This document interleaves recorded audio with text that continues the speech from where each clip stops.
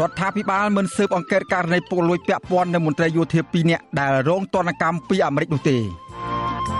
តុលាការក្រុងភ្នំពេញដាក់សកម្មជនសង្គ្រោះជាតិ2នាក់នៅពន្ធនាគារព្រៃសរក្រោយពីថៃបញ្ជូនមកកម្ពុជាវិញ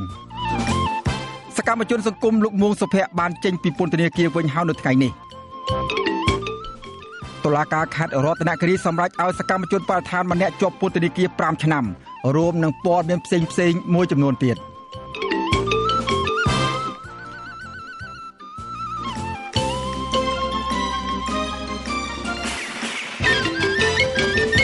បាទជាបន្តទៅទៀតនេះខ្ញុំបាទសេកបណ្ឌិតសូមជូនព័ត៌មានពិស្ដាបាទលោកនាងកញ្ញាជាទីមេត្រីតំណាងគណៈបកកណ្ដាលអំណាចប្រតិកម្មថាការដាក់ទណ្ឌកម្មរបស់ក្រសួងរដ្ឋាភិបាលអាមេរិកលើមន្ត្រីយោធាជាន់ខ្ពស់កម្ពុជាពីររូបនោះមិនឆ្លុះបញ្ចាំងការពិតឡើយក៏ប៉ុន្តែរដ្ឋាភិបាលក៏គ្មានបំណងស៊ើបអង្កេតករណីពុករលួយពាក់ព័ន្ធនឹងមន្ត្រីទាំងនោះដែរ បាទមន្ត្រីជាន់ខ្ពស់គណៈបកប្រឆាំងនិងអ្នកសិក្សាស្រាវជ្រាវយល់ថានេះជាករណីពុករលួយធ្ងន់ធ្ងរដែលប៉ះពាល់ដល់មុខមាត់និងផលប្រយោជន៍ជាតិដូច្នេះរដ្ឋាភិបាលកម្ពុជាគួរតែស៊ើបអង្កេតបញ្ជាក់រឿងនេះឲ្យបានច្បាស់លាស់បាទពីរដ្ឋធានី Washington លោកទីនសាការីយ៉ារាយការណ៍ជុំវិញព័ត៌មាននេះរបបឯកបកនឹងមិនស៊ើបអង្កេតករណីពុករលួយពាក់ព័ន្ធនឹងមន្ត្រីយោធាជាន់ខ្ពស់ពីររូបគឺលោកទាវិញនិងលោកចៅភិរិននោះឡើយ ទោះបីជាក្រសួងរដ្ឋាភិបាលអាមេរិករកឃើញថាឧត្តមសេនីយ៍ផ្កាយ4ទាំងពីររូបនេះបានប្រព្រឹត្តអំពើពុករលួយទ្រង់ទ្រាយធំក្នុងគម្រោងអភិវឌ្ឍមូលដ្ឋានទ័ពរៀមយ៉ាងណាក៏ដោយមន្ត្រីជាន់ខ្ពស់នឹងជាអ្នកនាំពាក្យគណៈបកកណ្ដាលអំណាចលោកសុកអេសានថ្លែងនៅថ្ងៃទី11វិច្ឆិកាថាតនកម្មរបស់ក្រសួងរដ្ឋាភិបាលអាមេរិកលើមន្ត្រីកម្ពុជានេះគឺជារឿងដដាលដដាលនឹងធ្វើឡើងដោយខ្វះមូលដ្ឋានលោកបញ្ជាក់ថារដ្ឋាភិបាលមិនអាចស៊ើបអង្កេតករណីចាប់ប្រកាន់បែបនេះបានឡើយ ដរាបណាក្រសួងរដ្ឋាភិបាលអាមេរិកមិនបានបង្ហាញភ័ស្តុតាងរឹងមាំរាជរដ្ឋាភិបាលលោកមានគោលការណ៍មកចត់ណាស់មិនចេះតែលឺគេថាហើយទៅធ្វើ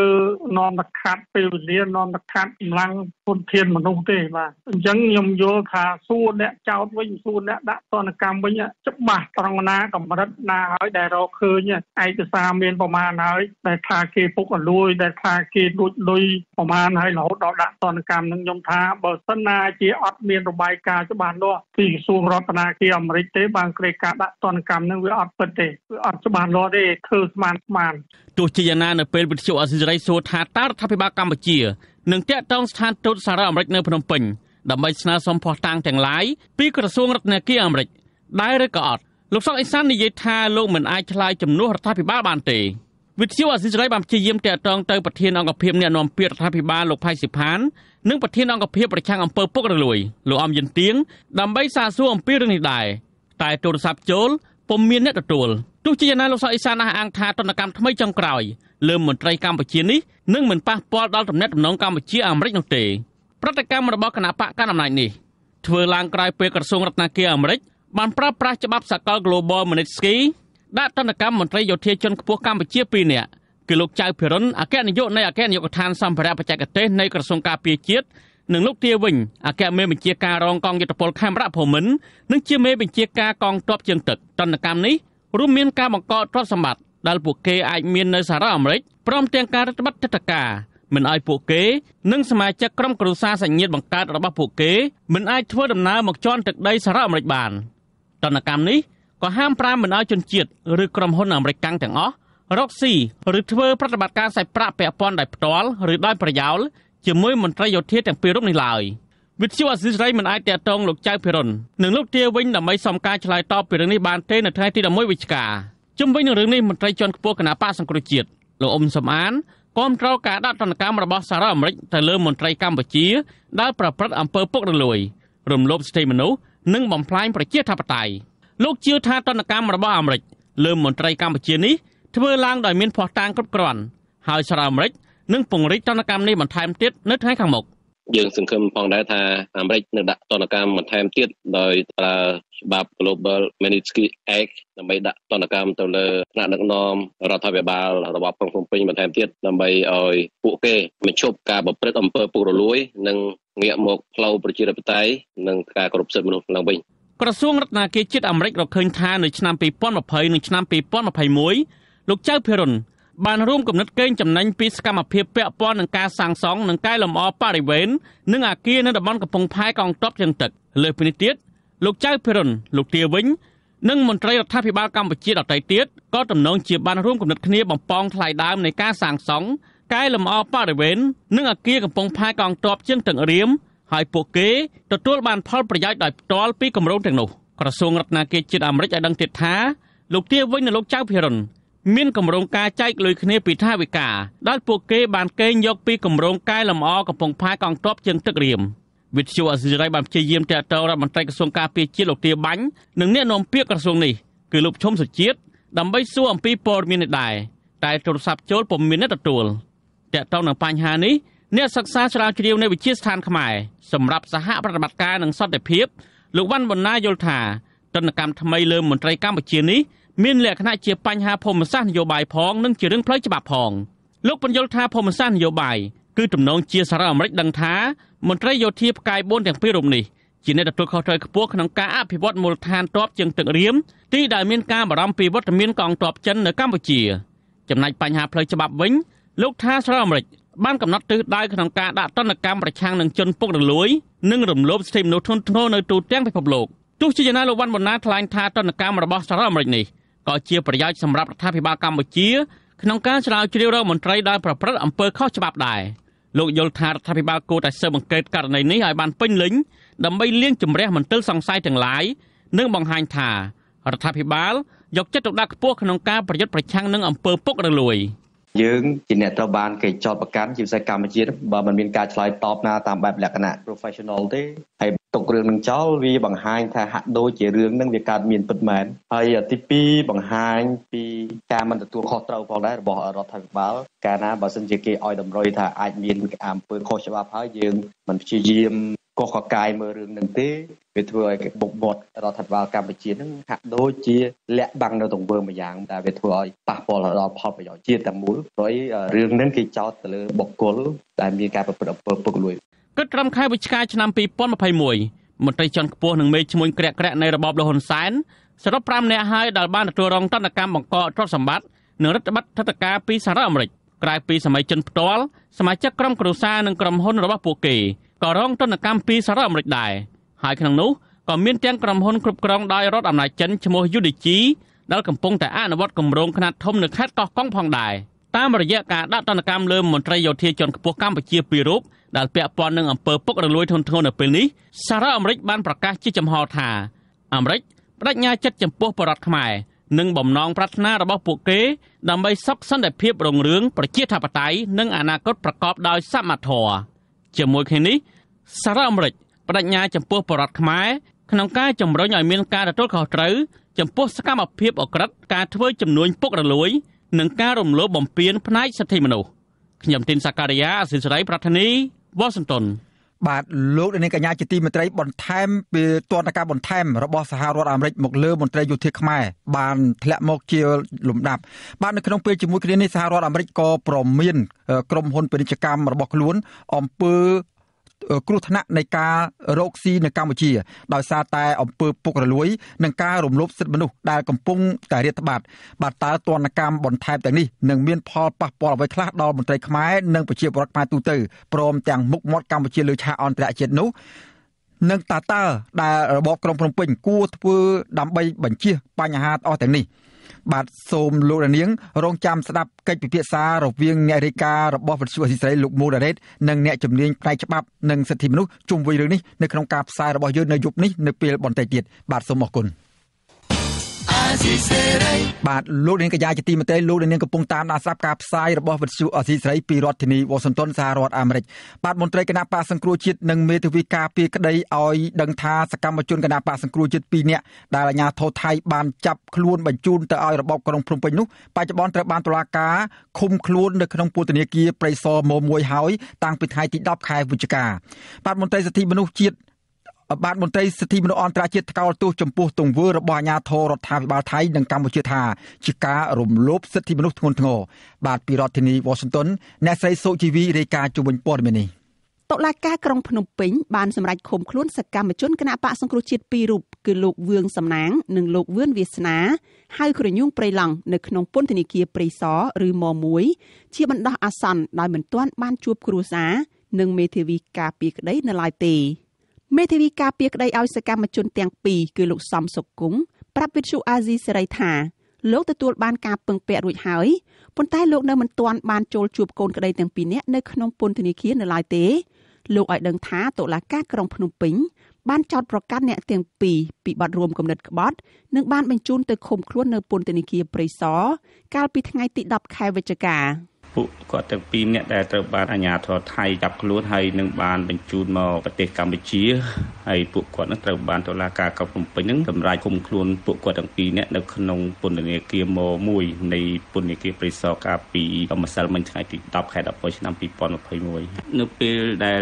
សមត្ថកិច្ចបញ្ជូនគាត់មកដល់តុលាការក្រុងភ្នំពេញហ្នឹងគឺពួកគាត់បានណាសុំតុលាការមិនទាន់ឆ្លើយសំណួររបស់ចៅកម្មជើបសួរទេហើយសុំលើកពេលឆ្លើយសំណួរហ្នឹងទៅពេលក្រោយដោយគាត់សុំពេលវេលាដើម្បីស្វរោគមេធាវីការពីក្តីឲ្យបញ្ជូនពួកគាត់លោកវឿងសំណាងនិងលោកវឿនវាសនាគឺជាសកម្មជនគណៈបកសង្គ្រោះជាតិដែលរស់នៅភៀសខ្លួននៅក្នុងប្រទេសថៃនិងត្រូវបានទទួលស្គាល់ឋានៈជាជនភៀសខ្លួនដោយឧត្តមស្នងការអង្គការសហប្រជាជាតិទទួលបន្ទុកជនភៀសខ្លួនឬហៅកាត់ថា UNHCR អញ្ញាធរថៃបានចាប់ខ្លួនសកម្មជនទាំងពីរនៅក្នុងពេលកំពុងធ្វើដំណើរនៅទីក្រុងបាងកកកាលពីល្ងាចថ្ងៃទី8ខែវិច្ឆិកា និងបានបញ្ជូនទៅឲ្យអាជ្ញាធររបបលោកហ៊ុនសែនកាលពីថ្ងៃទី9ខែវិច្ឆិកាទោះបីជាមានការជួយអន្តរាគមន៍ពីមន្ត្រីនៃឧត្តមស្នងការអង្គការសហប្រជាជាតិក៏ដោយ។សមាជិកគណៈបកសង្គ្រោះជាតិលោកអឿនរិទ្ធដែលកំពុងតែភៀសខ្លួននៅក្រៅប្រទេសដែរនោះថ្លែងថាគឺជារឿងសោកស្ដាយដែលអាជ្ញាធរថៃមិនបានបំពេញកាតព្វកិច្ចក្នុងការការពារជនភៀសខ្លួន តែបែរជាចាប់បញ្ជូនសកម្មជនគណៈបកសង្គ្រោះជាតិ ទៅឲ្យអាជ្ញាធរកម្ពុជា យកទៅឃុំខ្លួននៅក្នុងពន្ធនាគារទៅវិញ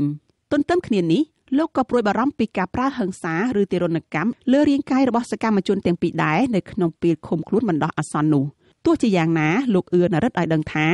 គណៈបកសង្គ្រោះជាតិបានតាក់ទងសុំអន្តរាគមពីឧត្តមស្នងការអង្គការសហប្រជាជាតិប្រចាំនៅកម្ពុជារួចហើយដើម្បីជួយតាមដានករណីនេះ។ ខ្ញុំគិតថាជាការរំលោភសិទ្ធិជនភៀសខ្លួនណាពីព្រោះ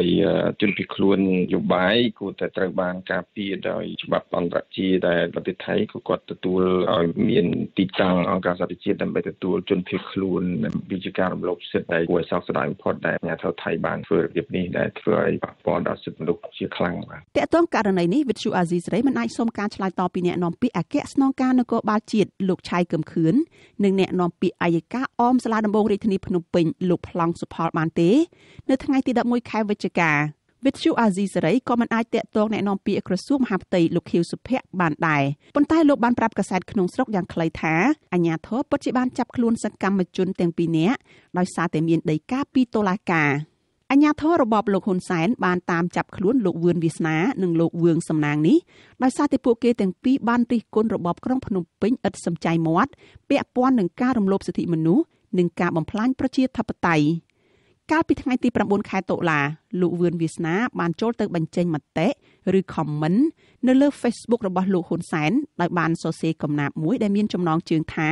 ហ៊ុនសែនក្បត់ជាតិដោយរិះគន់អំពីការកែប្រែច្បាប់បំផ្លាញជាតិនិងធ្វើទុកបុកម្នេញពលរដ្ឋស្លូតត្រង់ព្រមទាំងធ្វើឲ្យរលាយបាត់បង់ទឹកដីព្រៃឈើជាដើម។ បន្ទាប់មកលោកហ៊ុនសែនបានឆ្លើយតបវិញថាលោកត្រូវតែបដូរផ្ដាច់បំបត្តិចោលទ្រឹស្ដី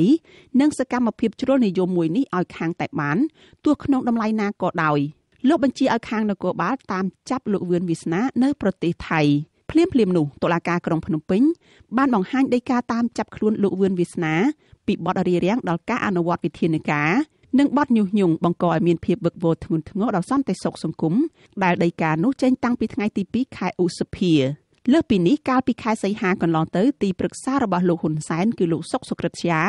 ក៏បានស្នើសុំឲ្យអាជ្ញាធរថៃជួយទប់ស្កាត់កុំឲ្យសកម្មជនគណបកប្រឆាំងប្រើទឹកដីថៃធ្វើជាមូលដ្ឋានវាយប្រហារលើរដ្ឋាភិបាលកម្ពុជាតាមបណ្ដាញសង្គមផងដែរប្រពន្ធរបស់លោកវឿងសំណាងគឺលោកស្រីទៀងចិន្តារៀបរាប់ថាលោកស្រីនៅមិនទាន់បានជួបប្តីនិងបានដឹងសុខទុក្ខពីប្តីនៅឡើយទេ លោកស្រីបន្តថានៅពេលអាជ្ញាធរចាប់ខ្លួនប្តីរបស់លោកស្រីដោយមិនបានផ្ដល់ដំណឹងបែបនេះធ្វើឲ្យលោកស្រីព្រួយបារម្ភជាខ្លាំងមិនដឹងចេះនិយាយថាម៉េចទេគ្រាន់តែថាពេលដែលគាត់មានបញ្ហាចឹងខ្ញុំជាប្រពន្ធនឹងបារម្ភហើយចង់ដឹងទុកទុកគាត់ចឹងណាហើយចង់ដឹងថាគាត់ទៅដល់ណាហើយហើយ អឺពេលណាគេត្រូវកាត់ទោសថាឲ្យត្រូវចេញអីអីចឹងណាបងជុំវិញករណីនេះនាយករងទទួលបន្ទុកកិច្ចការតំបន់អាស៊ីនៃអង្គការឃ្លាំមើលសិទ្ធិមនុស្សអន្តរជាតិ Human Rights Watch លោក Phil Robertson ថ្លែងថាសកម្មភាពរបស់អាជ្ញាធរថៃនៅក្នុងការចាប់បញ្ជូនបរិសុទ្ធទាំងពីរនាក់ដែលទទួលស្គាល់ជាជនភៀសខ្លួនគឺជាទង្វើដ៏ហួសចិត្តនិងមិនអាចទទួលយកបាន ហើយជាការក្បត់ទាំងស្រុងនៃកាតព្វកិច្ចរបស់រដ្ឋាភិបាលថៃក្នុងការការពារជនភៀសខ្លួន លោកបន្តថាតាមរយៈការចាប់បញ្ជូនបរិសុទ្ធទាំងពីរនាក់ទៅកម្ពុជាវិញច្បាស់ណាស់ថាពួកគេនឹងប្រឈមការធ្វើទុកបុកម្នេញហើយទំនងជាមានការរំលោភបំពាននិងការធ្វើទរណកម្មនៅក្នុងមន្ទីរឃុំឃាំងទៀតផងលោក Phil Robertson បន្តថានេះគឺជាការបញ្ជូនត្រឡប់ទៅវិញនៅក្នុងទម្រង់ជាការដោះដូរទំនិញដែលបង្កគ្រោះថ្នាក់ដល់អាយុជីវិតរបស់ពលរដ្ឋខ្មែររាប់រយនាក់ដែលរត់គេចខ្លួនពីការបង្ក្រាបរបស់លោកនាយករដ្ឋមន្ត្រីហ៊ុនសែន ករណីនេះនាំឲ្យមានការចោទសួរថាតើជាធ្នូមកវិញអាញាធរកម្ពុជានឹងធ្វើអ្វីខ្លះឲ្យរដ្ឋាភិបាលថៃចំពោះសកម្មជនអាវក្រហមថៃដែលកំពុងរស់នៅនិរទេសខ្លួននៅក្នុងក្រុងភ្នំពេញមន្ត្រីសិទ្ធិមនុស្សអន្តរជាតិរូបនេះលើកឡើងថាគ្មានអ្វីត្រូវសង្ស័យទេអាញាធរថៃពិតជាបានដឹងថាសកម្មជនគណបកសង្គ្រោះជាតិទាំងពីរនាក់គឺជាជនភៀសខ្លួន ពីព្រោះមន្ត្រីអង្គការសហប្រជាជាតិទទួលបន្ទុកជនភៀសខ្លួនបានទៅជួបពួកគេនៅមន្ទីរឃុំឃាំងសួនភ្លូដើម្បីបញ្ជាក់ពីឋានៈជាជនភៀសខ្លួនរបស់ពួកគេហើយមន្ត្រីអន្តោប្រវេសន៍ថៃក៏បានដឹងឮករណីនេះដែរហេតុដូច្នេះគ្មាននរណាម្នាក់ជឿលើពាក្យកុហករបស់រដ្ឋាភិបាលថៃដែលនឹងបកស្រាយថាពួកគេមិនបានដឹងពីឋានៈជនភៀសខ្លួនរបស់សកម្មជនទាំងពីរនោះឡើយនេះខ្ញុំសុជីវី Virtual Azizi Saray ពីរដ្ឋធានី Washington បាទលោកអ្នកកញ្ញាជាទីមេត្រីរដ្ឋាភិបាលថៃ បន្តចាប់បញ្ជូនជនភៀសខ្លួនខ្មែរនៅក្នុងប្រទេសថៃឲ្យទៅរបបក្រុងភ្នំពេញវិញដើម្បីផ្ដន់ទោសជាបន្តបន្ទាប់ បាទករណីនេះគឺជារឿងរំលោភអនុសញ្ញាជនភៀសខ្លួនរបស់អង្គការសហប្រជាជាតិដែលទាំងភាគីកម្ពុជានិងថៃបានចុះហត្ថលេខាទទួលស្គាល់បាទអ្នកវិភាគលើកឡើងថាអាញាធរថៃចាប់បញ្ជូនជនភៀសខ្លួនខ្មែរទៅឲ្យរបបលោកហ៊ុនសែនវិញម្ដងហើយម្ដងទៀតនេះដោយសារតែរដ្ឋាភិបាលថៃនិងកម្ពុជាប្រើវប្បធម៌អញជួយឯងឯងជួយអញដើម្បីពង្រឹងអំណាចផ្ដាច់ការនៅក្នុងតំបន់បាទតើរដ្ឋាភិបាលថៃនិងកម្ពុជាកំពុងតែជួយគ្នាទៅវិញទៅមកតាមរបៀបណាខ្លះ បាទសូមលោកនាងរងចាំស្ដាប់នេតិវិទ្យាអ្នកស្ដាប់របស់វិទ្យុអេស៊ីសរ៉ៃដែលនឹងចាប់ផ្ដើមនៅថ្ងៃទីនៅថ្ងៃរាត្រីថ្ងៃសុក្រទី12វិច្ឆិកាចាប់ពីម៉ោង7កន្លះដល់ម៉ោង8កន្លះម៉ោងនៅកម្ពុជាកុំបីខានបាទបើសិនជាលោកនាងមានសំណួរចង់សួរទៅវាគ្មិនរបស់យើងដោយផ្ទាល់ពាក់ព័ន្ធនឹងប្រធានបទនេះសូមអញ្ជើញអស់លោកនាងដាក់លេខទូរស័ព្ទនៅក្នុងខ្ទង់ comment របស់វិទ្យុអេស៊ីសរ៉ៃដែលកំពុងផ្សាយផ្ទាល់នៅពេលនោះក្រុមការងាររបស់យើងខ្ញុំនឹងហៅត្រឡប់ទៅលោកអ្នកវិញបាទសូមអរគុណលោក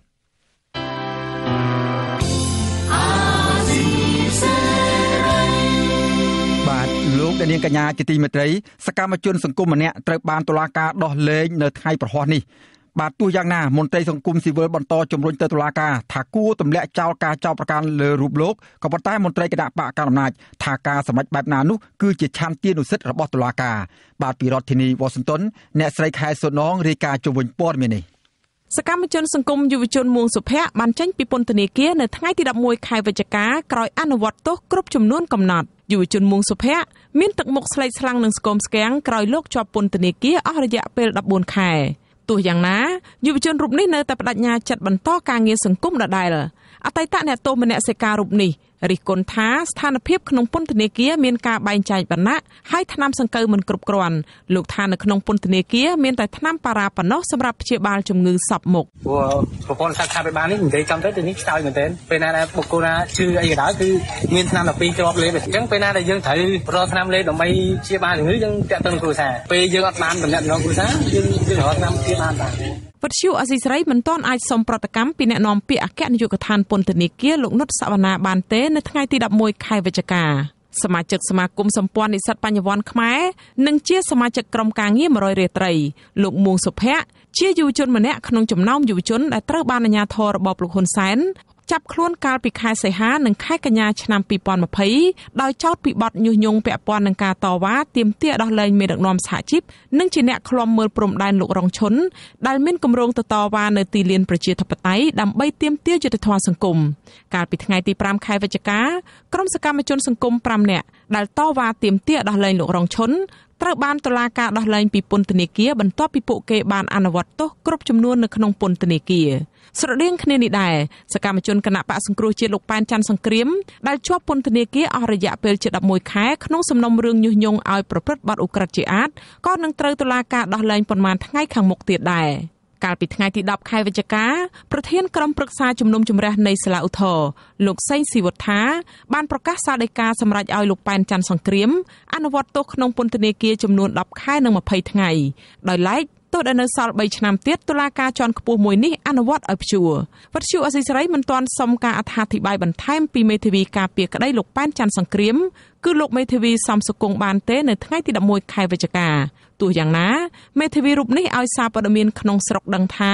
គិតពីថ្ងៃឃុំខ្លួនកូនក្តីរបស់លោកមកដល់ពេលនេះជិតគ្រប់ចំនួនកំណត់ហើយដូច្នេះលោកថានាប៉ុន្មានថ្ងៃខាងមុខទៀតកូនក្តីលោកអាចនឹងត្រូវតុលាការដោះលែង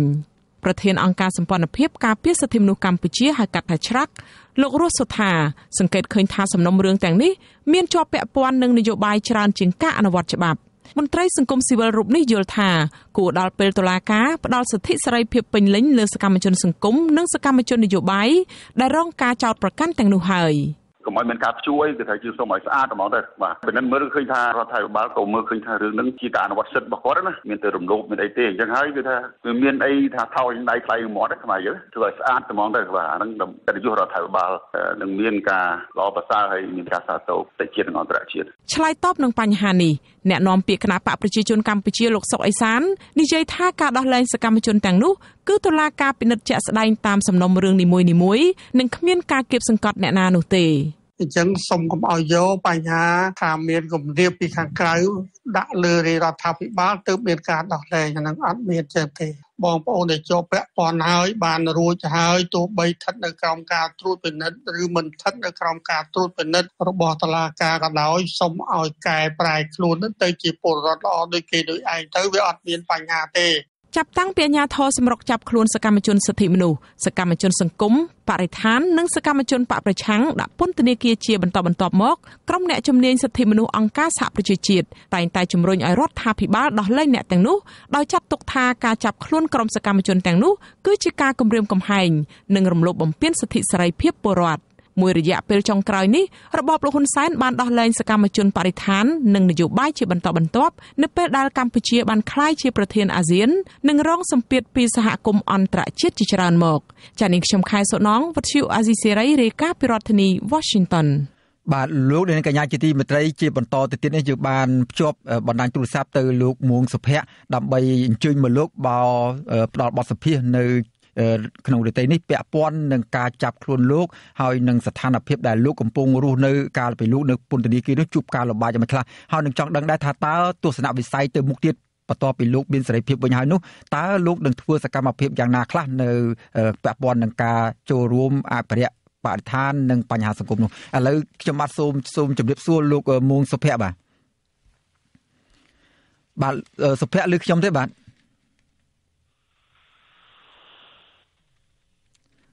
បាទសុភ័ក្របាទជំរាបសួរបាទយើងនៅមិនទាន់ឮសុភ័ក្រប្រហែលជាសុភ័ក្របាទសុំមើលខ្សែខ្សែ earphone ផងតើវាវាដិតឬក៏យ៉ាងម៉េចដែរបាទបាទសុភ័ក្រឮខ្ញុំទេបាទ ហៅបាទសុភ័ក្របាទបាទអូខ្ញុំលឺហើយបាទសុភ័ក្របាទបាទអរគុណណាស់សុភ័ក្រឥឡូវនេះបានជួបគ្នាបានជួបលឺសម្លេងគ្នាហើយតើអាចរៀបរាប់បានទេ នៅពេលនេះតើមានអារម្មណ៍សប្បាយរំភើបរីករាយឬមួយក៏មានអារម្មណ៍យ៉ាងម៉េចដែរនៅពេលបានចេញមកពីពន្ធនាគារថ្មីថ្មីអញ្ចឹងបាទបាទសូមអរគុណបងហើយក៏សូមជំរាបសួរដល់ជនជាតិខ្មែរទាំងអស់ហើយចំពោះបញ្ហាទៅតែខ្ញុំចេញពីពន្ធនាគារនេះគឺ មិនមែនថាយើងសប្បាយរីករាយចំពោះការដល់យើងនៅខាងក្នុងវាវាខ្យល់ដង្ហើមបន្តិចវានៅក្នុងខាងក្នុងហើយយើងបានចេញខាងក្រៅវាយើងបកដង្ហើមបានស្រួលបាទអញ្ចឹងចំពោះបញ្ហាដែលខ្ញុំរស់នៅក្នុងពន្ធនាគារអស់រយៈពេលជាង14ខែមកគឺស្ថានភាពខ្ញុំគឺលំបាកខាងជំងឺជំងឺនិងការហូបចុកមួយចំនួនដែរហើយ ចំណុចមួយទៀតគឺពន្ធនាគារភាគច្រើនគឺគាត់បិទទឹកហៅបំផុតទៅលើអ្នកទោសនយោបាយទាំងអស់តែម្ដងពួកអ្នកទោសដែលជាប់ពីបញ្ហាសង្គមភាគច្រើនគេមិនទៅបើកឲ្យទលាយប្រើប្រាស់របស់ដែលដែលគួរដែលគេឲ្យប្រើណាឧទាហរណ៍ថាពីមុនខ្ញុំចូលទៅដំបងចូលទៅបានប្រហែលខែដំបងគឺទាំងវិសុទាំងអ្វីអ្វីសំបីតែគេហៅថាខ្ញុំធ្លាប់រៀនធម៌វិបស្សនាអញ្ចឹងខ្ញុំខ្ញុំគាត់ថាសូម តែអាចគេយកមកស្ដាប់ហ្នឹងក៏គេមិនអនុញ្ញាតឲ្យខ្ញុំផងបាទព្រោះគេច្រើនគេនៅក្នុងមណ្ឌលអប់រំកែប្រែគេហៅថាមណ្ឌលអប់រំកែប្រែប៉ុន្តែខ្ញុំខ្ញុំគ្រាន់តែយកធម៌មកស្ដាប់ហ្នឹងក៏គេមិនអនុញ្ញាតឲ្យខ្ញុំយកទៅស្ដាប់ផងអញ្ចឹងខ្ញុំទៅប្រហែលខែដំបូងហ្នឹងគឺខ្ញុំឃើញថាការបិទទឹកនិងការហាមឃាត់រឿងមួយចំនួនមានច្រើនប៉ុន្តែទើបតែប្រហែលខែចុងក្រោយនេះគឺខ្ញុំរៀនទូរៀនរស់នៅបានទូជាស្បោជាងមុន ព្រោះគេអឺមានទូរស័ព្ទប្រើប៉ុន្តែឯកសារលិខិតមួយចំនួនទៅតែគេបិទសិទ្ធិដែរគេច្រើនបានតែត្រឹមតាក់ទងនឹងគ្រួសារបាទចាំណាបាទណាបាទអរគុណសុភ័ក្រចំពោះបញ្ហាផ្សេងផ្សេងទៀតបាទបាទបាទសូមអញ្ជើញសូមអញ្ជើញបញ្ហាទៀតបាទចំពោះចំពោះបញ្ហាសុខាភិបាលនិងបញ្ហានៅក្នុងពន្ធនាគារយើង យើងមើលទៅទស្សនវិជ្ជាពន្ធនាគារយើងគិតថាខ្ញុំមិនទាន់អាចនឹងបកស្រាយបានចំពោះរឿងនឹងបានទេព្រោះរឿងរបស់នេះខ្ញុំត្រូវការពេលវេលានឹងសរសេរដើម្បីអឺចងក្រងពីបញ្ហាមួយចំនួនតែក្នុងពន្ធនាគារណាយើងឃើញថាមណ្ឌលអប់រំកែប្រែយើងយើងជាមណ្ឌលមួយដែលត្រូវតែអឺលើកមួយចំនួនដើម្បីអឺផ្លាស់ប្ដូរទាន់ដិតដែលដែលពួកគាត់ជាប់ពន្ធនាគារហើយអឺ គាត់នឹងអាចចេញទៅវិញដោយព្រោះចំណុចបាទតែជួនទៅដល់បាទ បាទសូមអធិស្ឋានលោកអ្នកស្ដាប់បាទដោយសារតែប្រព័ន្ធទូរស័ព្ទយើងដូចជាល្អរអួលបន្តិចបាទលោកនៅនេះជាទីមេត្រីលោកមួងសុភ័ក្រគឺជាសមាជិកនៃ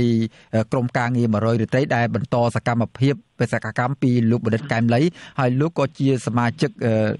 សមាគមសម្ព័ន្ធនិស្សិតបញ្ញវន្តខ្មែរផងដែរបាទហើយ លោកសុភ័ក្រឥឡូវនេះបានឮខ្ញុំទេហើយចង់បន្តទៀតដែរថាក្រៅពីការខ្វះខាតដូចជាលោកសុភ័ក្របានរៀបរាប់បំបញ្ញមិញនៅក្នុងពន្ធនាគារនេះតើចំពោះការស្នាក់នៅការហូបចុកអីឬមួយក៏ការរដ្ឋបិទការការពារជំងឺ Covid-19 អីនោះនៅក្នុងអំឡុងពេលចុងក្រោយនេះមានស្ថានភាពយ៉ាងម៉េចដែរសុភ័ក្របាទបាទចំពោះបញ្ហាហូបចុកការរស់នៅយើងគឺថាការកន្លែងដេកយើងគឺយើងមាន កន្លែងដេកធម្មតាបាទប៉ុន្តែចំពោះអាហារដែលពន្ធនាគារផ្ដល់ឲ្យគឺខ្ញុំមើលឃើញថាវាខ្សោយវាវាជាយើងជាលក្ខណៈថាអាហារពន្ធនាគារគឺពិបាកហូបមែនទែនព្រោះទាំងបាយទាំងម្ហូបគឺវាមានលក្ខណៈថាអន់ឯអនាម័យតែម្ដងបាទអញ្ចឹងចំពោះអាហារហូបចុកទាំងងុយទាំងទឹកងុយទឹកគេច្រើនគេប្រើទឹកស្អាត មានតិចប៉ុន្តែគេប្រើទឹកខៀវច្រើនទឹកបឹងតែពន្ធនាគារគេជីកបឹងទំហំជាងប្រហែលហិកតាដើម្បីសន្សំទឹកគ្រប់គ្រងនៅក្នុងពន្ធនាគារហ្នឹងគឺគេច្រើនមានអ្នកខ្លះគាត់មិនអាចនឹងទប់ទល់បានជាមួយនឹងទឹកបឹងហ្នឹងទេព្រោះកាលណាមួយទៅវាមានជាលំអស់ប៉ុន្តែបើយើងសង្កេតមើលជាក់ស្ដែងទៅនៅតាមបន្ទប់ដាក់ដាក់ទោសឃុំឃាំងយើងឃើញថានៅក្នុងបន្ទប់អ្នកបន្ទប់ធម្មតាដែលដែលឃុំឃាំងទៅ ទោសសាមញ្ញហ្នឹងគឺពួកគាត់ប្រើទឹកបានទឹកសបានតិចហើយពេលឆុងគេដាក់ទឹកខៀវទៅប្រើតែសម្រាប់បន្ទប់អ្នកមានលុយវិញគឺគេអាចប្រើទឹកបានច្រើនជាងបាទអញ្ចឹងយើងមើលឃើញថាកម្រិតនៃការអឺបែងចែកនៃការប្រើប្រាស់អឺគេហៅថាមិនដឹងថាគេចាយលុយយ៉ាងម៉េចទេព្រោះអឺយើងមើលឃើញថាអ្នកបន្ទប់ដែលមានលុយគឺយើងយើងប្រើបានល្អជាងអ្នកដែលអត់ តែចំពោះហ្នឹងចំពោះបញ្ហាអនាម័យនិងការរស់នៅបើសម្រាប់បញ្ហាកូវីដនៅក្នុងពន្ធនាគារវិញយើងការពីខែ5ខែ5យើងសកម្មជនយើងជានយោបាយជាង30នាក់ហ្នឹងគាត់ឆ្លងជំងឺកូវីដដែរតែការរៀបចំនីតិវិធីហ្នឹងយើងមើលឃើញដែរយកទៅដាក់ដល់ឡែកដែរយើងអាចជាបានពួកគាត់បានជាសះស្បើយគ្រប់គ្នាប៉ុន្តែយើងមើលឃើញថាស្ថានភាពកូវីដនៅក្នុងពន្ធនាគារមាន អានេះតាមអ្វីដែលខ្ញុំឃើញខ្ញុំឃើញថាមានអ្នកខ្លះចាត់តលេខៈអ្នកខ្លះមិនចាត់តលេខៈតែពួកគាត់អាចដើរជុំគ្នាបានធម្មតាដូចជាមិនមានហាម5អឺខ្លាំងដូចនៅក្រៅទេបាទការដែលកូវីដទូខ្លាំងនៅក្នុងខែ5តែខ្ញុំចាំបាននៅក្នុងខែ5យើងឃើញថាមានទាំងមន្ត្រីពន្ធនាគារក៏គាត់ឆ្លងអឺទាំងអ្នកទោសកម្មជនយើងក៏ឆ្លងដែរបាទប៉ុន្តែយើងមើលឃើញថា ការដើរហើររបស់ពួកអត់ចាត់តលេសាគឺយើងដូចធម្មតាដូចថាមិនមែនជាអ្នកស្លារបៀបថែរក្សាកូវីដឲ្យដាច់កលៀតវិទ្យាបានណាបាទពីព្រោះកូវីដនេះគឺយើងឃើញថាធូរលងបាទអរគុណអឺសុភ័ក្រអឺបញ្ហាមួយទៀតឥឡូវពីនេះដោយសារថាអឺសុភ័ក្របានរៀបរាប់ហើយទៅអំពីអឺស្ថានភាពនៅក្នុងពន្ធនាគារប្រលំបាកយ៉ាងម៉េចកាំងវាហូបចុកឆ្នាំសង្កូវឬមួយក៏អឺការដេកពូនេះក៏វាមិនបានសមរម្យអឺអឺអឺទៅតាមអឺអ្នក សភាពខាងក្រៅដែរអឺប៉ុន្តែអឺនៅពេលនោះសកម្មជនមានសកម្មជនសង្គមមានសកម្មជនបរិស្ថានអ្នកនយោបាយច្រើនជាប់ឃុំច្រើនណាស់មួយរយៈពេលចុងក្រោយនេះតើសុភ័ក្រមានបានទៅជួបពួកគាត់ម្ដងម្កាលដើម្បីជជែកគ្នាអំពីបញ្ហាអ្វីមួយដែរទេបាទយើងជួបគ្នារាល់ថ្ងៃបងយើងព្រោះអ្នកទោសដែលនយោបាយដែលចូលទៅទាំងអស់គ្នាហ្នឹងជាង60នាក់ហ្នឹងគឺយើងនៅអាគារតែមួយអាគារជាមួយគ្នាអញ្ចឹងពេលដែលយើងចេញមក ហាត់ប្រាណខាងក្រៅយើងជួបគ្នារាល់រាល់ពេលអញ្ចឹងវាមិនមែនថាយើងនៅដាច់បន្លាយពីគ្នាគាត់របងយើងមិនអាចនិយាយគ្នាបានទេព្រោះបាទគាត់ថាអ្នកខ្លះនៅបន្ទប់ខុសគ្នាអញ្ចឹងពេលយើងចេញទៅហាត់ប្រាណមកយើងចេញមកកន្លែងតែមួយពេលហូបចុកហូបអីហ្នឹងយើងយើងនៅអាចជជែកគ្នាបានជាង2ម៉ោងដល់ពេលចាប់ពីម៉ោង8ព្រឹករហូតដល់ម៉ោង10ហ្នឹងយើងអាចជួបជុំគ្នាអ្នកទៅនយោបាយជាង60នាក់ហ្នឹងគាត់ជជែកគ្នាលេងធម្មតា ដល់ពេលត្រូវចូលបន្ទប់វិញម៉ោង11យើងយើងចូលទៅវិញធម្មតាយើងមិនមែនថាយើងនៅឆ្ងាយពីគ្នាត្រូវខាំងលបងអីទេបាទអរគុណបញ្ហាមួយទៀតចង់ដឹងដែរថាអឺពាក់ព័ន្ធសុខភាពរបស់សុភ័ក្រផ្ទាល់តែម្ដងអាចសុភ័ក្របានសុភ័ក្របានអាចជំរាបបានទេថាមុននឹងអឺទៅពន្ធនាគារនោះនឹងបច្ចុប្បន្នពេលដែលត្រូវបានគេដោះលែងមកវិញសុខភាពយ៉ាងម៉េចដែរមានជាប់ជំងឺមកតាមប្រចាំកាយមកខាងក្រៅពន្ធនាគារនេះយ៉ាងម៉េចទេបាទ មានមានមានតែបងមានខ្លះដែរការមុនមុនមុននឹងខ្ញុំជាប់ពន្ធនាគារខ្ញុំធ្លាប់មានជំងឺរលាកផ្លូវដង្ហើមនិងជំងឺ depression ខួរក្បាលដែរតែមានពេលខ្លះខ្ញុំធ្វើសមាធិបានប៉ុន្តែដោយខ្ញុំនិយាយខាងលើហ្នឹងគឺខ្ញុំធ្លាប់មានជំងឺខួរក្បាល depression ដែរខ្ញុំត្រូវការសមាធិត្រូវការស្ដាប់តែអានស្គាល់ហ្នឹងតែពន្ធនាគារគាត់មិនអនុញ្ញាតឲ្យការពីដំបូងទៅគាត់បិទសិទ្ធិគ្រប់យ៉ាងនិយាយចំទៅចង់ យកប្រព័ន្ធអប់រំយកមកស្ដាប់ផ្ទាល់ខ្លួនដើម្បីទទួលអារម្មណ៍ក៏គាត់មិនអនុញ្ញាតដែរអញ្ចឹងយើងឃើញថាបើនិយាយពីការបិទសិទ្ធិយើងពីមុនយើងបិទច្រើនណាស់បាទតែមកដល់ជំងឺសម្រាប់ជំងឺខ្ញុំមកដល់បច្ចុប្បន្ននេះគឺនៅធម្មតាទេជំងឺផ្លូវដង្ហើមរបស់ខ្ញុំណាបាទហើយជំងឺខួរក្បាល depression ហ្នឹងក៏មានពេលខ្លះនៅខាងក្នុងរៀងស្ទះជាងតែនៅខាងក្រៅខ្ញុំឃើញថាខួរក្បាលខ្ញុំរៀងធូរស្បើយបន្តិចប៉ុន្តែវាមិនទាន់អាចថាជាសះស្បើយមែនទែនណាបង បាទ ព្រោះបញ្ហាហ្នឹងគឺវាជាជំងឺប្រចាំកាយធម្មតាទេពេលខ្លះมันអាចมันធ្វើទុកខ្លាំងប្រមាណហើយក៏យើងអាចតស៊ូបានយើងអាចទ្រាំបានចំពោះជំងឺបន្តិចបន្តួចហ្នឹង បាទអរគុណឥឡូវសូមបាទឥឡូវនេះសូមរំលឹកទៅ ចំពោះ ការ បញ្ហាមួយទៀត បាទអញ្ជើញចេញសុភ័ក្រ ហៅបង បាទសូមអញ្ជើញ ចំពោះចំពោះបញ្ហាមួយទៀតដែលខ្ញុំខ្ញុំនឹងជម្រាបបងថា ចំពោះបញ្ហានៅក្នុងពន្ធនាគារបើយើងរៀបរាប់ពីបញ្ហារបស់ផ្ទាល់ខ្លួនយើងយើងបានអឺនិយាយហើយប៉ុន្តែចំពោះបញ្ហានៅក្នុងពន្ធនាគារខ្ញុំអាចនឹងរៀបចំជាដំណោះស្រាយឬក៏ជាមតិរិះគន់មួយចំនួនទៅសម្រាប់ទៅក្រសួងមហាផ្ទៃដែរបាទអញ្ចឹងខ្ញុំនិយាយពេលក្រោយបើសិនពេលខ្ញុំដែលរៀបខ្ញុំអឺរៀបចំនឹងការសរសេរនឹងចប់បាទ អរគុណលោកនាយកទីមេត្រីអឺការលំបាកការខ្វះខាតនិងការរើសអើងអឺអ្នកទោសនៅក្នុងពន្ធនាគារព្រៃសរឬបុគ្គលអ្នកទោសអឺនៅពន្ធនាគារផ្សេងទៀតនៅក្នុងប្រទេសកម្ពុជានេះអឺតែងតែមានការលើកឡើងជាបន្តបន្ទាប់នៅពេលដែលសកម្មជនសង្គមសកម្មជនបរិស្ថានឬក៏អឺសកម្មជននយោបាយបានរួចខ្លួនពីពន្ធនាគារវិញតែងតែលើកឡើងពីបញ្ហានេះក៏ប៉ុន្តែបញ្ហានេះក៏មានការបកស្រាយនិងការបដិសេធថាมันមិនជាការពិតមិនមែនត្រឹមត្រូវ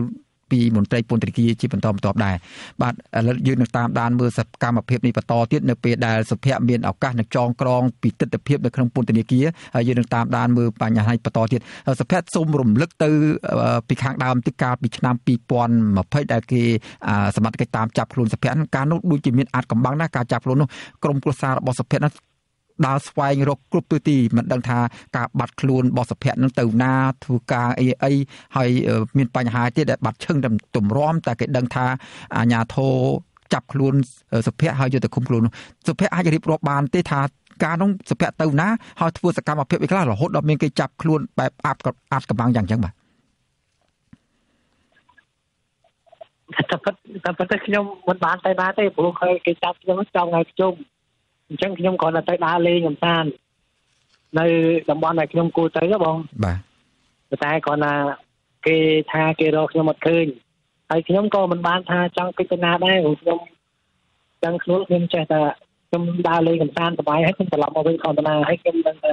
ពួកគេត្រូវចាប់ពួកគេចាប់ទៅជារឿងធម្មតាយើងពួកខ្ញុំចង់ឲ្យខ្ញុំកិច្ចរត់ទៅខាងក្រៅឬក៏ទៅណាក៏ខ្ញុំខ្ញុំពិបាកទទួលយកសម្រាប់ខ្លួនឯង បើចង់ឲ្យខ្ញុំចាក់ចេញពីប្រទេសខ្លួនឯងទេបងបាទសុភ័ក្រទោះបីថាសុភ័ក្រថាការចាប់ខ្លួនជារឿងធម្មតាទៅហើយយ៉ាងណាក្តីក៏ប៉ុន្តែការចោទប្រកាន់រហូតដល់មានការចាប់ខ្លួនសុភ័ក្រដាក់ពន្ធនាគារនេះតើសុភ័ក្រគិតថាជារឿងសមហេតុសមផលឬមួយក៏ជារឿងអយុត្តិធម៌ទេហើយបន្ទាប់ពីចេញពីពន្ធនាគារហើយនេះសុភ័ក្រគ្រូនឹងប្តឹងតបចំពោះការចាប់ឃុំខ្លួនធ្វើខាត់ពេលវេលាប៉ះពាល់ដល់កិត្តិយសរបស់សុភ័ក្រយ៉ាងណាទេបាទ ចំពោះបញ្ហាហ្នឹងក៏យើងចង់ដាក់ពាក្យប្តឹងទៅឧទ្ធរចង់ក៏ចង់ស្នើសុំឲ្យមានការលើកលែងឬក៏ទម្លាក់ចោលលក្ខខណ្ឌទាំងឡាយរបស់សាលាការបាទពេញពីពួកយើងហើយក៏យើងក៏ពិបាកនឹងទទួលយកដែរព្រោះបញ្ហាទាំងអស់ហ្នឹងតាមអង្គហេតុតាមអ្វីដែលយើងធ្វើយើងធ្វើតាមការគោរពសិទ្ធិនិងច្បាប់រដ្ឋធម្មនុញ្ញយើងធ្វើទៅអ្វីទៅតាមនីតិវិធីទៅតាមច្បាប់បើមិនជាយើងធ្វើទៅហើយបើមិនជា គេចោទមកថាយើងនឹងបំពេញឬក៏ខុសច្បាប់នៅត្រង់ណាមួយអាហ្នឹងយើងមើលទៅថាវាមិនសមនឹងអង្គហេតុជាក់ស្ដែងដែលយើងយើងសកម្មភាពដែលយើងធ្វើណាបងបាទព្រោះយើងជាក់ស្ដែងយើងមើលទៅច្បាប់រដ្ឋធម្មនុញ្ញយើងមើលទៅសិទ្ធិរបស់យើងយើងគ្រាន់តែចេញមតិយើងគ្រាន់តែសម្ដែងអ្វីដែលយើងមិនពេញចិត្តប្រទេសប្រជាធិបតេយ្យយើងគ្រាន់តែនិយាយអ្វីដែលយើងមិនពេញចិត្តយើងនិយាយអ្វីដែលយើងឃើញថាមិនល្អហើយ យើងមិនបានទៅជេរប្រមាថឬក៏អឺឬក៏ថាថ្នាក់ដឹកនាំណាមួយគឺរឿងអ្វីមិនល្អទេយើងគ្រាន់តែបញ្ចេញអ្វីដែលយើងគិតថាចំណុចនេះវាមិនប្រសើរយើងគួរតែទៀមទានៅអ្វីដែលយើងតាមសិទ្ធិរបស់យើងណាបងក្នុងសង្គមប្រជាធិបតេយ្យយើងយើងមានសិទ្ធិក្នុងការនិយាយតែគ្រាន់តែយើងមិនបានចោទប្រកាន់ទៅលើឋានៈដឹកនាំរដ្ឋាភិបាលណាទេគ្រាន់តែយើងឃើញប្រធានជាក់ស្ដែងវាអញ្ចឹងដែរព្រោះយើងឃើញថា អឺចំណុចនេះវាមិនល្អចំណុចនេះវាមិនល្អអញ្ចឹងយើងគ្រាន់តែបញ្ចេញមតិក្នុងនាមជាពលរដ្ឋហើយបើសិនជាសាលាការគាត់ថាយើងប្រព្រឹត្តអំពើមិនល្អឬក៏អំពើខុសតែបង្កឲ្យមានមុខវដល់សង្គមឬក៏ញុះញង់នរណាអញ្ចឹងយើងមើលទៅឃើញថាវាអត់មានអង្គហេតុយើងអត់ចាក់ស្ដែងអញ្ចឹងណាតែយើងមិនដឹងថាយើងទៅញុះញង់នរណាឲ្យប្រព្រឹត្តអំពើអីយើងអត់បានធ្វើយើងគ្រាន់តែមកសម្ដែងអ្វីដែលយើង ពេញចិត្តវាយើងតស៊ូមតិចំពោះបញ្ហាមួយចំនួនបើមិនជារដ្ឋាភិបាលឃើញថាវាមិនប្រសើរទេវាមិនល្អទេរដ្ឋាភិបាលអាចច្រានចោលមកវិញមកអានេះជាគេហៅថាវប្បធម៌មួយដែលយើងមានអ្នកអ្នកធ្វើអ្នករិះគន់យើងនៅជាមួយគ្នាអញ្ចឹងយើងមានន័យថាប្រទេសសង្គមប្រជាធិបតេយ្យវាមានអ្នកធ្វើយើងត្រូវតែមានអឺមតិរិះគន់ចំពោះបញ្ហាមួយចំនួនចឹងហើយបាទអរគុណសុភ័ក្របាទយើងមើលទៅតាម បាទអរគុណសុភ័ក្រដែលបានចំណាយពេលវេលាផ្ដល់បទសភាជាមួយនឹងវិទ្យុអសីស្រីនៅពេលនេះនៅក្រៅពេលដែលលោកបានចេញពីពន្ធនាគារហើយជូនពរដល់លោកមានសុខភាពល្អនិងមានសំណាងល្អតទៅមុខទៀតបាទជម្រាបលាតែប៉ុណ្្នេះសិនបាទបាទសូមអរគុណបាទបាទ បាទលោកនាងកញ្ញាជាទីមេត្រីលោកនាងកំពុងតាមដានស្ដាប់ការផ្សាយរបស់វិទ្យុអសីស្រីពីរដ្ឋធានីវ៉ាស៊ីនតោនសហរដ្ឋអាមេរិក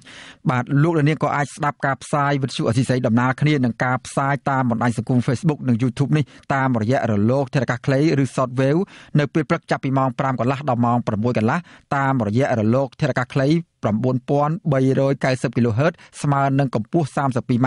និង10000 1850 kHz ស្មើនឹងកម្ពស់ 25m បាទនៅពេលយប់ចាប់ពីម៉ោង7កន្លះដល់ម៉ោង8កន្លះយប់គឺចាប់មានរលកធាតុអាកាស9390 kHz បាទ9390 kHz ស្មើនឹងកម្ពស់ 32m និង15155 kHz ស្មើនឹងកម្ពស់30ស្មើនឹងកម្ពស់ 20m បាទសូមអរគុណ បាទលោកនាងកញ្ញាជាទីមេត្រីប្រជាសហគមន៍មហាអង្គថាអាញាធរខេត្តព្រះវិហារបានបញ្ជូនកម្លាំងប្រដាប់អាវុធរាប់រយនាក់មកយាមកាមការងារការពារក្រុមហ៊ុនមួយ ដើម្បីឈូសរំលំដើមឈើធំធំដើម្បីធ្វើអាជីវកម្មស្ថិតនៅក្នុងតំបន់ព្រៃសហគមន៍ភូមិជីអោកបាទជួនចិត្តគួយរាប់រយគ្រួសារខឹងសម្បាចំពោះទង្វើនេះដោយទាមទារឲ្យបញ្ឈប់សកម្មភាពនេះជាបន្ទាន់បាទពីរដ្ឋធានី Washington លោកមានរិទ្ធរាយការណ៍ជំវិញព័ត៌មាននេះ ជនជាតិដើមភាគតិចគួយជាង100នាក់រស់នៅភូមិជីអោកឃុំរមនីស្រុករវៀងនៅតែបន្តតវ៉ារយៈពេល2ថ្ងៃជាប់គ្នាគឺនៅថ្ងៃទី10និងថ្ងៃទី11ខែវិច្ឆិកាដើម្បីទាមទារឲ្យអាជ្ញាធរខេត្តព្រះវិហារបញ្ឈប់សកម្មភាពឈូសឆាយព្រៃសហគមន៍ភូមិជីអោកអ្នកភូមិថា ក្រុមហ៊ុនសន្តានា Agro Products របស់អង្គការអុកកំសានបានបញ្ជូនគ្រឿងចាក់4គ្រឿងនិងកម្មករជាច្រើនអ្នកទៅឈូសផ្ដួលដើមឈើមុខកាត់ធំធំអស់រាប់ពាន់ដើមនៅរយៈពេល2ថ្ងៃចុងក្រោយនេះសមាជិកសហគមន៍ភូមិជីអោកលោកពេញគង់ប្រាវិសុយស៊ីស្រីថានគរបាល PM និងមន្ត្រីបរិស្ថានជាង100នាក់បានដាក់ពង្រាយនៅក្នុងតំបន់ព្រៃសហគមន៍ដើម្បីរារាំងនិងគម្រាមកំហែងពលរដ្ឋមិនឲ្យចូលព្រៃ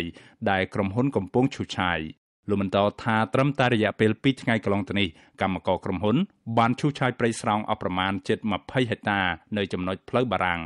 រីឯស្មារតីទាំងនោះមិនបានការពារផលប្រយោជន៍របស់ពលរដ្ឋនោះទេ តែបែរជាការការពារឲ្យក្រុមហ៊ុន បន្តឈូសឆាយបំផ្លាញដោយរលូនប៉ូលីស កម្លាំងចម្រុះសម្ងបងមាន PM មានបឋានមានប៉ូលីសគេហាមឃាត់មិនអោយប្រជាពលរដ្ឋចូលទៅមើលព្រៃសហគមន៍បងគាត់ថាគាត់មានច្បាប់ខ្ញុំថាបើសិនជាបងមានច្បាប់យកច្បាប់មកច្បាប់ពីរដ្ឋាភិបាលមកថានេះរដ្ឋាភិបាលចេញច្បាប់អោយឈូសឆាយព្រៃសហគមន៍អញ្ចឹងឲ្យបងយកមកបរោះដដែលបន្ថែមថាដើមឈើមូលធំធំ ដែលក្រុមហ៊ុនកំពុងឈូសឆាយមានទំហំមុខកាត់3ទឹកដល់ទៅជាង2ម៉ែត្រ ជាព្រៃដែលនៅសេសសល់ចុងក្រោយគេនៅក្នុងខេត្តព្រះវិហារគឺកំពុងប្រឈមទៅនឹងការវិនាសហិនហោចស្ទើរតែទាំងស្រុងលោកប្រកាសចំហថាអ្នកភូមិចង់ថែទាំព្រៃនេះឲ្យបានគង់វង្សដើម្បីទាញអនុផលព្រៃឈើនិងទប់ស្កាត់ការប្រែប្រួលអាកាសធាតុព្រៃការពារវិញដើម្បីដកយកអនុផលដូចជាផ្សិតដូចជាគុយញឹមទៅវាមានផលច្រើននៅក្នុងសហគមន៍ហ្មងបាទវាមានអាអាអុប3នាក់ក៏មានអាអុប2នាក់អាអុបនេះធ្វើវាធំធំធ្វើពេលនៅក្រាស់ពេលសហគមន៍នៅក្រាស់ហ្មង វិសុវអេស៊ីស្រីមិនអាចតទៅអនុប្រធានមន្ត្រីបរិស្ថានលោកមាសញឹមដើម្បីសូមអត្ថាធិប្បាយជុំវិញបញ្ហានេះបាននៅឡើយទេចំណែកឯម្ចាស់ក្រុមហ៊ុនសន្តានា Agro Products គឺអង្គញាអុកកំសាននិងអភិបាលខេត្តព្រះវិហារលោកប្រាក់សវណ្ណក៏មិនអាចតាក់ទងបានដែរនៅថ្ងៃទី11ខែវិច្ឆិកា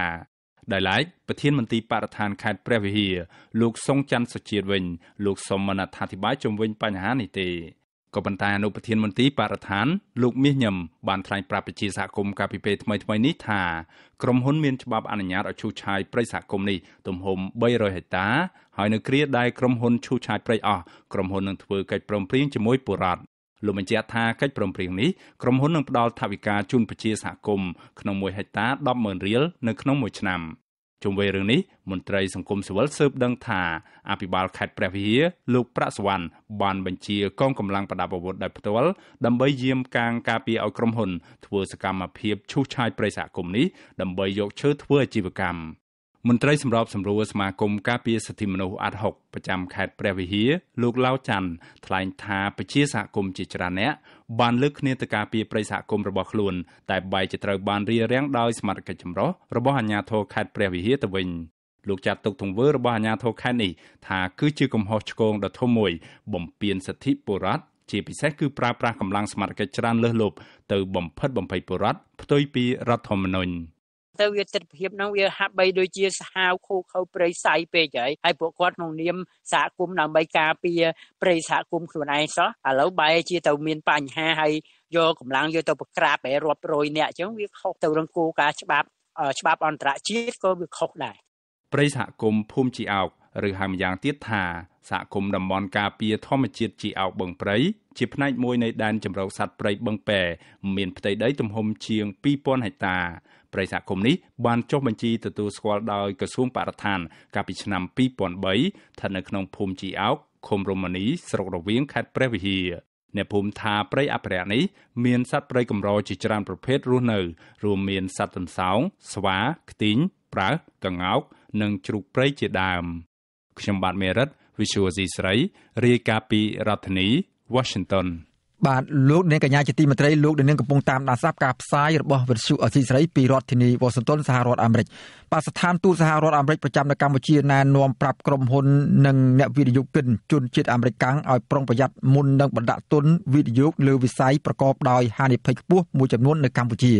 បាទការណែនាំនេះធ្វើឡើងនៅក្នុងសេចក្តីជូនដំណឹងមួយរបស់ស្ថានទូតផ្សាយការពីថ្ងៃទី10ខែវិច្ឆិកាស្របពេលដែលអាមេរិកប្រកាសដាក់ទណ្ឌកម្មបង្កកទ្រព្យសម្បត្តិនិងរដ្ឋបិទទឹកថាការលើមន្ត្រីយោធាជាន់ខ្ពស់កម្ពុជាពីររូបគឺនាយឧត្តមសេនីយ៍ចៅភិរុនអគ្គនាយកនៃអគ្គនាយកដ្ឋានសម្ភារៈបច្ចេកទេសនៃក្រសួងការពារជាតិនិងនាយឧត្តមនាវីទាវិញមានវិជាការកងទ័ពជើងទឹកបើតាមស្ថានទូតសហរដ្ឋអាមេរិកថាវិស័យប្រកបដោយហានិភ័យខ្ពស់នៅកម្ពុជាទាំងនោះរួមមានវិស័យហិរញ្ញវត្ថុអចលនទ្រព្យ កាស៊ីណូនិងហេដ្ឋារចនាសម្ព័ន្ធក្រៅពីនោះស្ថានទូតក៏ណែនាំប្រាប់ឲ្យក្រុមហ៊ុនអាមេរិកប្រុងប្រយ័ត្នចំពោះការធ្វើអាជីវកម្មជាមួយនឹងក្រុមហ៊ុនសញ្ជាតិកម្ពុជាទាំងឡាយដែលអាចជាប់ពាក់ព័ន្ធនឹងអំពើជួញដូរមនុស្សសត្វព្រៃនិងគ្រឿងញៀនព្រមទាំងហានិភ័យជាច្រើនទៀតនៅក្នុងវិស័យក្នុងវិស័យនឹង វិស័យជួញដូរនិងការជួញដូរឈើហូបបាទស្ថានទូតសហរដ្ឋអាមេរិកណែនាំទៅដល់ក្រុមហ៊ុននិងវិនិយោគិនជនជាតិអាមេរិកឲ្យឈប់ដឹងយល់ដឹងអំពីហានិភ័យផ្នែកគេឈ្មោះសេដ្ឋកិច្ចនិងច្បាប់ដែលពួកគេអាចប្រឈមនឹងពេលរកស៊ីជាមួយនឹងក្រុមហ៊ុននៅកម្ពុជា ដែលពាក់ព័ន្ធនឹងអំពើរំលោភសិទ្ធិមនុស្សសកម្មភាពឧក្រិដ្ឋ ឬអំពើពុករលួយជាដើមបាទស្ថានទូតផ្ដល់អនុសាសន៍ថាដើម្បីកាត់បន្ថយនៅហានិភ័យទាំងនេះក្រុមហ៊ុនអាមេរិកទាំងអស់ គួរតែអនុវត្តនៅគោលនយោបាយនិងហានិភ័យនៃការពិនិត្យវិจัยផ្ទៀងផ្ទាត់និងស្រាវជ្រាវឲ្យបានម៉ត់ចត់មុននឹងសម្រេចវិនិយោគនៅកម្ពុជាបាត់ចាប់តាំងពីឆ្នាំ2017រហូតមកទល់នឹងសប្តាហ៍នេះកម្ពុជាជាប់ឈ្មោះនៅក្នុងបញ្ជីប្រភេទនៃក្រមប្រទេសមានហានិភ័យខ្ពស់ផ្នែកអំពើលាងលុយកខ្វក់នៅលើពិភពលោករបស់អង្គការអន្តរជាតិឃ្លាំមើលអំពើលាងលុយកខ្វក់ឈ្មោះក្រុមហ៊ុនការឈ្មោះ ក្រមការងារហិរញ្ញវត្ថុក្រោយមកស្ថាប័នហិរញ្ញវត្ថុរបស់សហភាពអឺរ៉ុបនិងសហរដ្ឋអាមេរិកក៏ដាក់បញ្ចូលកម្ពុជាទៅក្នុងបញ្ជីឃ្លាំមើលនៃក្រមប្រទេសហានិភ័យខ្ពស់ផ្នែកអំពើលាងលុយកខ្វក់ផងដែរ។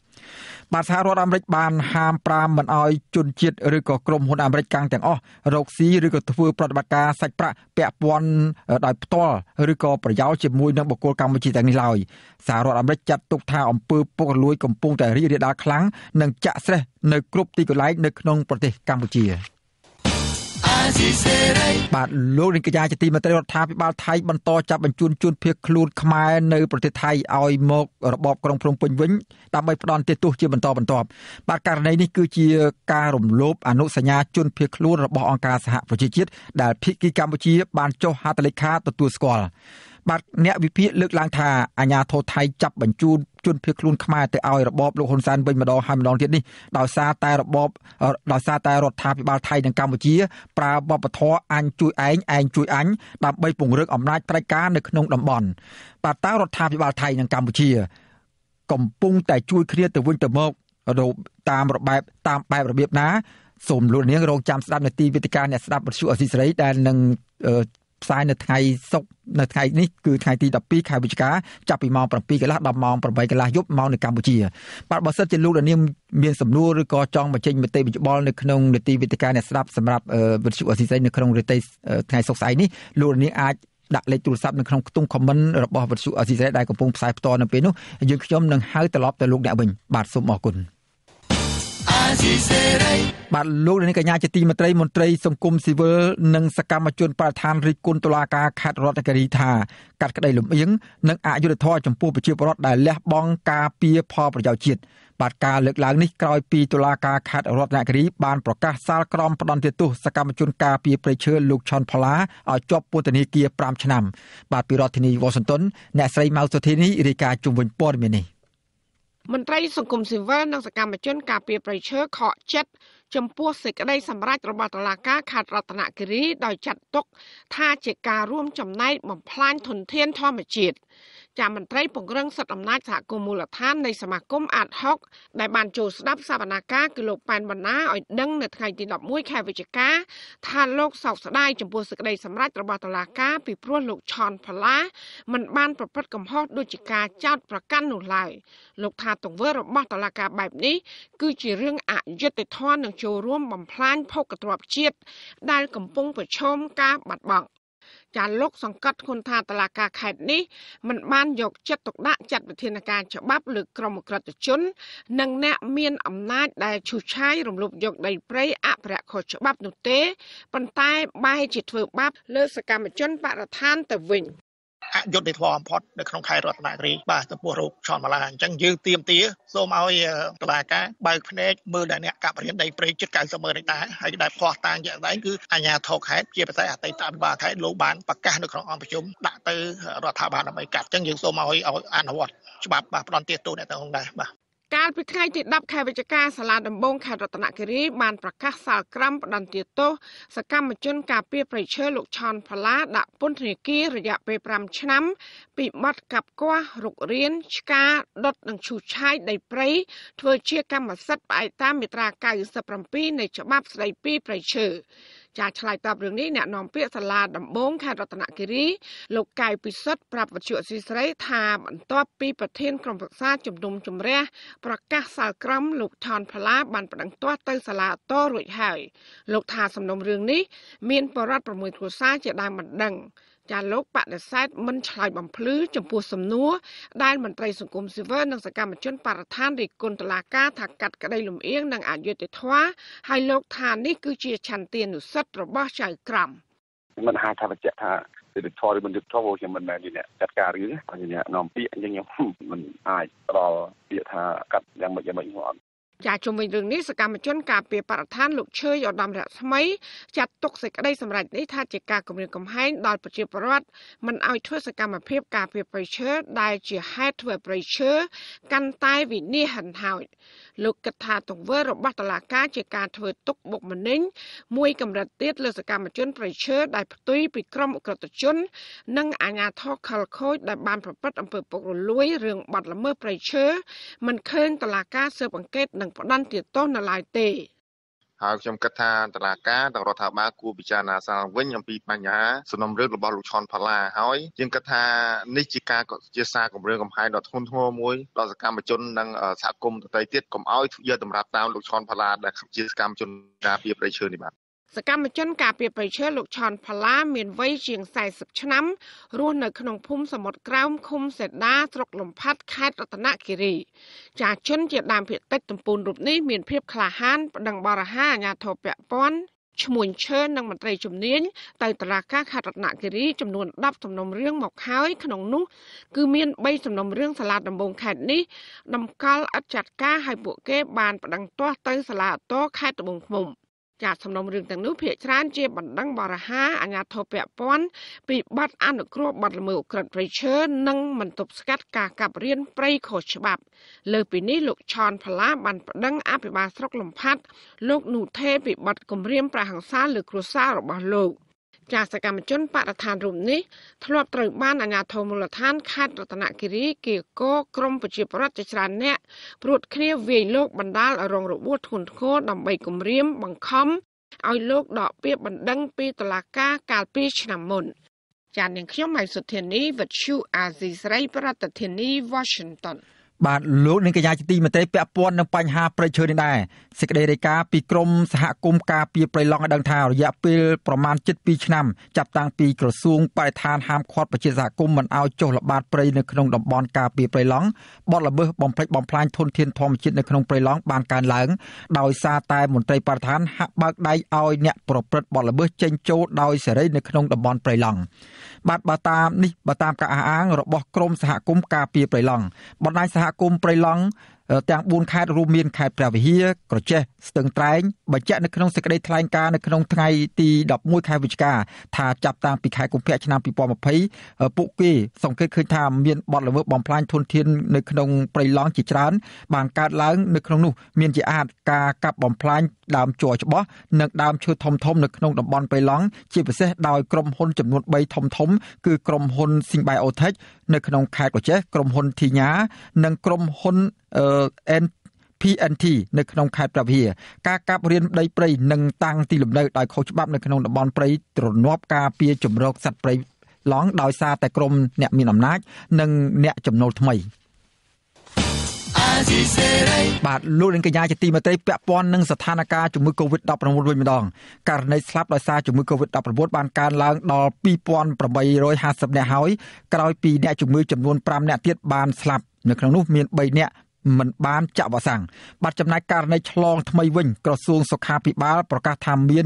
66នាក់ដែលជាលទ្ធផលបញ្ជាក់ដោយម៉ាស៊ីនពិសោធន៍ PCR ក៏ប៉ុន្តែតួលេខនេះមិនរាប់បញ្ចូលពីលទ្ធផលដែលពិនិត្យតាមប្រព័ន្ធឧបករណ៍តេស្តរហ័សឬក៏ហៅថា Rapid Test នោះទេបាទគិតត្រឹមព្រឹកថ្ងៃទី11ខែវិច្ឆិកាកម្ពុជាមានអ្នកកើតជំងឺ Covid-19 ជិត120,000នាក់ក្នុងនោះអ្នកជាសះស្បើយមានជាង110,000នាក់ បាទក្រសួងសុខាភិបាលប្រកាសថាគិតត្រឹមថ្ងៃទី10ខែវិច្ឆិកាម្សិលមិញរដ្ឋាភិបាលចាក់វ៉ាក់សាំងជូនប្រជាពលរដ្ឋដែលគ្រប់អាយុបានប្រមាណ10លាននាក់សម្រាប់ដូសទី1និងជាង9.6លាននាក់ជាង6 និងជាង9លាន9សែននាក់សម្រាប់ដូសទី2ចំណែកកុមារនិងយុវជនដែលមានអាយុចាប់ពី6ឆ្នាំដល់17ឆ្នាំវិញក្រសួងបញ្ជាក់ថាបានចាក់វ៉ាក់សាំងបានជាង3លាន7សែននាក់ក្នុងចំណោមអ្នកដែលត្រូវចាក់វ៉ាក់សាំងជិត4លាននាក់ បាទលោកនាងកញ្ញាជាទីមេត្រីលោកនាងកំពុងតាមដានស្ដាប់ការផ្សាយរបស់វិទ្យុអេស៊ីស្រីពីរដ្ឋធានីវ៉ាស៊ីនតោនសហរដ្ឋអាមេរិកបាទទណ្ឌកម្មបន្ថែមរបស់សហរដ្ឋអាមេរិកមកលើមន្ត្រីយោធាខ្មែរបានធ្លាក់មកជាលំដាប់បាទនៅក្នុងពេលជាមួយគ្នានេះសហរដ្ឋអាមេរិកបានប្រមានក្រុមហ៊ុនពាណិជ្ជកម្មរបស់ខ្លួនអំពីគ្រោះថ្នាក់នៃការរកស៊ីនៅកម្ពុជាដោយសារតែអំពើពុករលួយនិងការរំលោភសិទ្ធិមនុស្សដែលកំពុងឆ្លងរាតត្បាតខ្លាំងបាទតើទណ្ឌកម្មបន្ថែមនេះនឹងមានផលប៉ះពាល់អ្វីខ្លះដល់មន្ត្រីខ្មែរនិងប្រជាពលរដ្ឋខ្មែរទូទៅព្រមទាំងមុខមាត់កម្ពុជាលើឆាកអន្តរជាតិនោះនឹងថាតើអ្វីដែលជាអ្វីដែលរបបក្រុងភ្នំពេញគួរធ្វើដើម្បីបញ្ជៀសបញ្ហាអស់ទាំងនេះបាទលោកលាននឹងបានស្ដាប់បទសម្ភាសន៍ជុំវិញរឿងនេះនៅពេលបន្តិចទៀតនេះ